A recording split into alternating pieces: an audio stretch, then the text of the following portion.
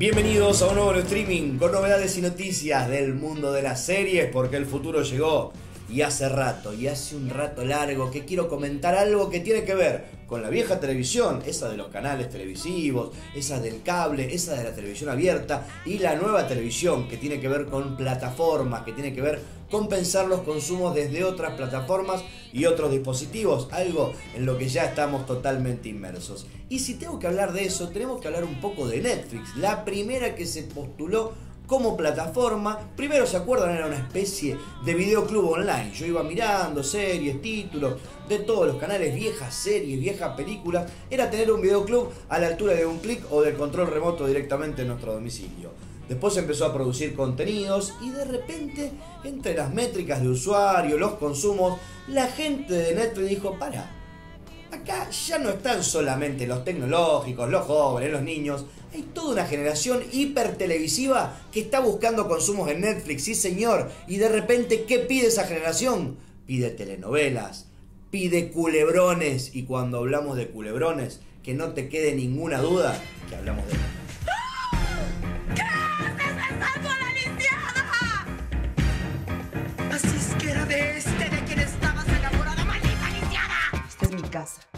florería es el pilar de la familia.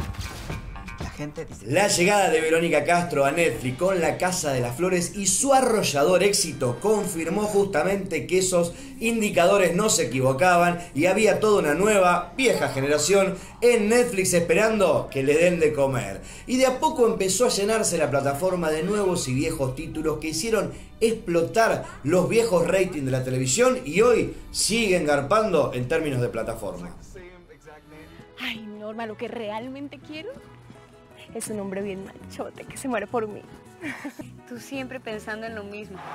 Pasión de Gavilanes, una de las grandes opciones disponibles en Netflix, tiene algo así como 150.000 capítulos como buen culebrón y tras el éxito obtenido en este último tiempo, volvió a juntar elenco después de años y lanzó nueva temporada en Colombia que seguramente en breve va a estar en el resto del mundo, en plataformas por supuesto. Tres hijas huérfanas. Dos viudas. Las Aparicio, otra que rescata lo mejor de las telenovelas de la tarde, con un grupo de hermanas envueltas en traiciones, sexo, lujuria, ambiciones y todos los condimentos, sin lugar a dudas. Te viera la cara cuando miras a Charlie, para saber que ni siquiera sabes que hoy existe. Otra de las opciones y nos vamos acercando a lo nuevo que empezó a hacer Netflix cuando descubrió que esto garpaba y muchísimo, tiene que ver con La Reina del Flow, año 2019, ganadora de un Emmy como mejor telenovela. La serie tiene también ese condimento de una cantante que injustamente fue apresada y cumplió años y años de cárcel, pero ahora sale lista para vengarse de su marido que la traicionó. ¡Ah, maravilla! Andrade. Uy, Y para cerrar este buen resumen de culebrones, Café con aroma de mujer, que siendo una de las telenovelas más exitosas de todo el año 2021, se merece lo siguiente, el tráiler completito para que vos digas, ay, cómo me perdí este manjar que estaba disponible en Netflix. Bueno, ¿cómo hay que ver este tráiler? Como corresponde a un buen culebrón. A dientes apretados y a puro nervio porque ¡ah! no puedo creer lo que está por pasar.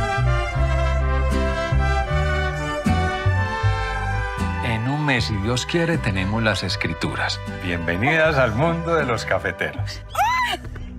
Papá, le vas a regalar una hectárea a una recolectora. Hay unos movimientos bancarios muy extraños. Eso se llama lavado de dinero. No podemos permitir que Iván siga haciendo lo que se le dé la gana en esta empresa. Acabaste con el apellido de los Vallejo. Papá, papá. por favor, vente ya.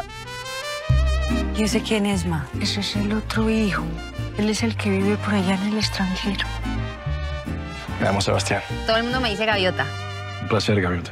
Estas mujeres están reclamando por un terreno que ellas no han pagado. Yo le prometo que vamos a tener esa tierra. Se lo juro. Yo nunca creí que la muerte de su papá fuera a causar tanta molestia entre ustedes. Yo sé que hay algo muy especial pasando entre los dos. Necesito averiguar quién es la vieja con la que está. Es una recolectora de café. ¿Qué se le ofrece? Papá le dio mucha confianza a esa muchacha. No me parece que esté bien. Ingrato amor, rompió sus alas. Ingrato ¿No sabía que venías? Lo de esa mujer es capricho. Hagamos de cuenta que aquí no ha pasado nada. ¿Es Nueva York con Lucía o Casablanca con la gaviota?